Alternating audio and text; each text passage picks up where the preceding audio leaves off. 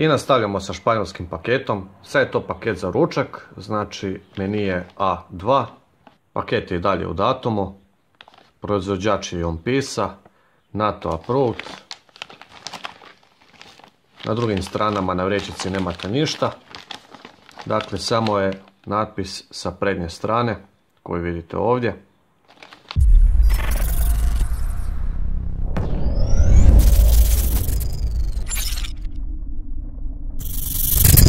Kao paketu za doručak, tu se nalazi jedna kutija, malo veće veličine. Imamo uputstvo na francuskom, španjolskom i na engleskom. Dakle, ovdje je popis stvari koje imamo u kutiji. Kako konzumirati izotonični prah, kako koristiti tablete za pročišćavanje vode i tako dalje i tako dalje.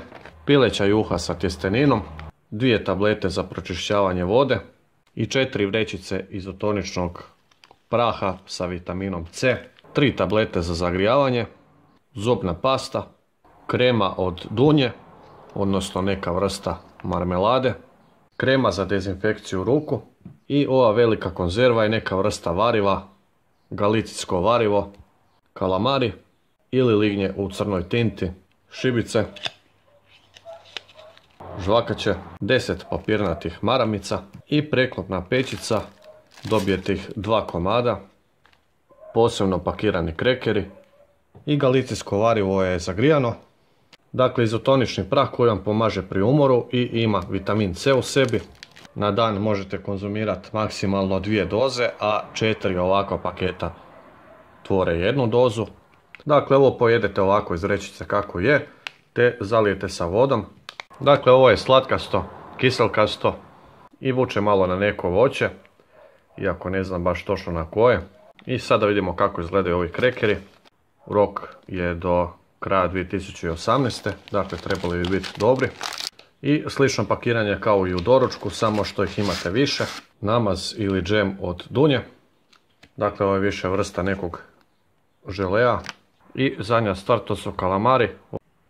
Dakle, većina Amerikanaca se zgraža od ovoga, te to ne želi probati. Međutim, ja sam ovak ljubitelj morske hrane, pa me stvarno interesira kako će ovo biti. I da probamo galicijsko varivo. Vidite, tu je kelj ili zelje. Imate veliki komad nekog mesa, komad čorizo kobasice, komad špeka, grah. I ovo je poprilično odlično. I imate i okus i miris lagano po dimu od ovog silnog mesa koji se nalazi unutra. Jako dobar okus. Vrhunsko jelo moram priznat. I ovo je već, ajmo reći, prava zamjena za kruh. Vidite da je to malo deblji kreker. Nije toliko prhak, ima poprilično lijep okus. Ovo je najbliža zamjena za kruh koju možete naći u ovoj vrsti stvari. I lignje su tu. Lignje su iznutra punjene sa kracima i vidite nalazi se u ovoj crnoj tinti.